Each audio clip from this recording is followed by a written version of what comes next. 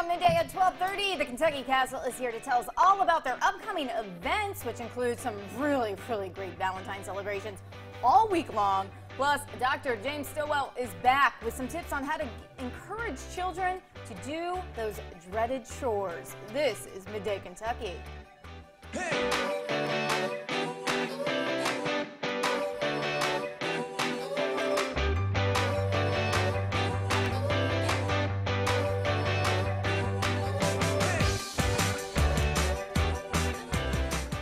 afternoon. Happy Wednesday. Thanks for joining us on midday at 12:30. I'm Amber Freeman. And I'm Christina Johnson. Chrissy is back.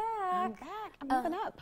No, You're doing days in a well. row. It's it's always, um, and I think a lot of your friends wrote in messages and, and emailed you, and all had tips on how you should be hosting. Yeah, they do. How do you feel about that?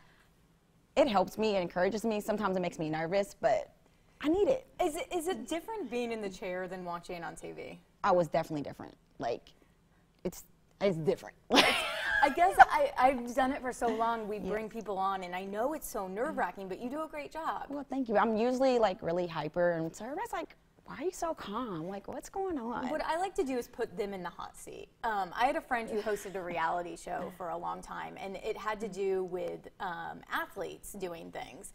And it's so easy to turn around, and we're armchair coaches to athletes, and then a lot of people are the same to everybody on TV. Uh, just basically any job, everybody feels like they can do it. Well, I tell everybody that. So when they're watching sports, they're like the referees. I'm like, "Well, why aren't you out there refing?" Well, they put them behind the desk and made them read a prompter.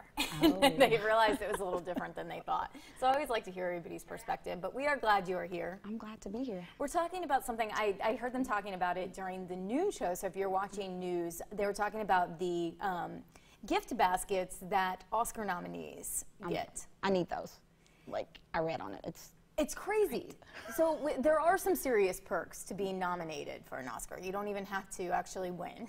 right. Just being nominated, which is a pretty big feat in itself. Forbes says the gift bag for Academy Award nominees, $215,000 worth of items in there this year. Which is great, but you have to pay taxes on it. You do.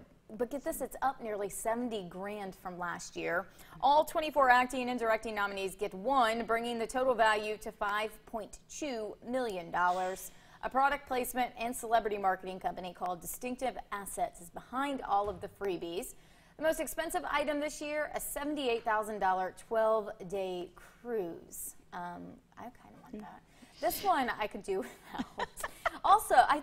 just I have more questions about this, and we could talk about the entire segment. A year's membership to a dating service worth twenty thousand dollars. What are they doing? What are they doing for twenty thousand dollars? What are you getting? Do I want to know? Is it? Uh, Twenty- I, I don't, could be risky. I don't know. Okay, that's uh, they have a lot of cosmetic procedures from a New York City doctor, and you get cannabis chocolate edibles. They're delivered to the nominees in suitcases the week before the February 9th Oscar ceremony, which is this Sunday night. It's um, it's a lot, and like you said, you have to be taxed on it. What do you think? It's like the prize is right. I used to be excited about it until I realized you had to pay taxes. I wonder how many people actually get away with not paying taxes. Like, do they really keep note of all of this? oh, I'm sure. And I also really want to know what that twenty thousand dollar dating service entails. Who pays twenty thousand dollars for a date? Well, I don't know who pays for it, but I want to know what you get, Yeah, that's true. right? um, so, uh, in a former life, I went to a lot of events and all that kind of stuff on, on that, that end of the spectrum. And the gifting suites are unreal. Now, I, I, the IRS could come after me, but they're not going to get anything because I don't have anything. But um, I didn't pay taxes on anything. And you would just walk through just for Yeah. parties, the, the amount of events. I'm not getting arrested. I'm, I probably am. Hello, take me in. I don't know. Listen, I went to my first one in May for Derby. I- our camera, uh, Clark's making me feel guilty now. Don't be jealous, Clark. We need to shield you now. Like, I think that the, I think uh, ABC will take care of that, right? Um, so you went to one for the Derby? I did in May, and it was so much fun. I felt like a celebrity. I just walked through and got all these free gifts, and Yeah. it was great. What was the best thing you, you received? Probably hair care products for me. They had liquor, they had Waffle House, they had everything, but I remember one time, like phones. It was when like T-Mobile and the flip phones were all that. This was before there were even like really good cameras or anything on. And we got phones at one event that had like the TVs on them, What? and they had LA numbers. I thought that I was like, in college, I was like, mm, look, guys. But thank God there were not cameras on phones. That's the that's the thing I'm most grateful for in life. You have kids. I do. Um, Three. yeah. So they were teenagers. yes, at one point in time. Getting them to do chores has that always been a big thing in your life? It has. They've been doing chores since they were one.